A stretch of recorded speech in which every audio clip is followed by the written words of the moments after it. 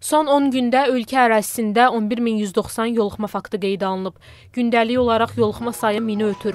Müharibə şəraitində yaşayan ölkə olduğumuz üçün bu rəqəm çox ciddi narahatlıq doğurur.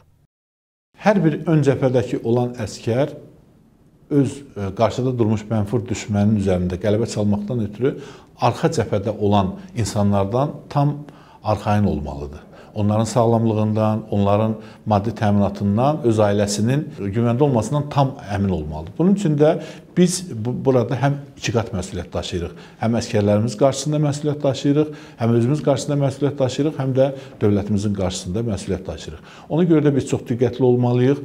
Yoluxmaların sayını azaltmaqdan ötürü Burada təkcə bir sistemin üzərinə yüklənmək olmaz. Biz səhiyyə sisteminin üzərinə yüklənsək ki, bu prosesi idarə edəcək, bu mümkün olası məsələ deyildir.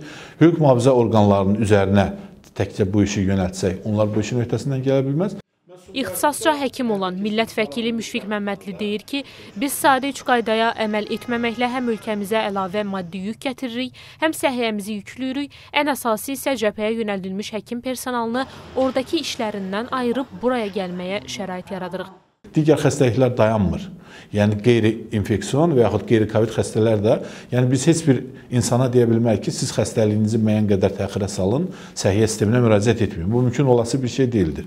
Və üstə gəl, bu tərəfdən də istər yüngül formalı Covid xəstələr, istərsə də ağır formalı Covid xəstələr hər biri səhiyyə sisteminə müəyyən bir yük gətirir.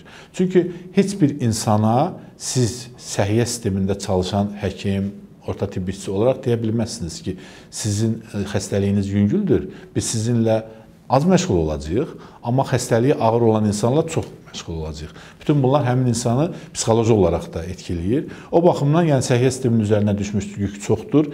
Biz bu yükün artırmaqla cəbhədəki proseslərə xələl yetirmiş oluruq. Bunu açıq şəkildə demək lazımdır.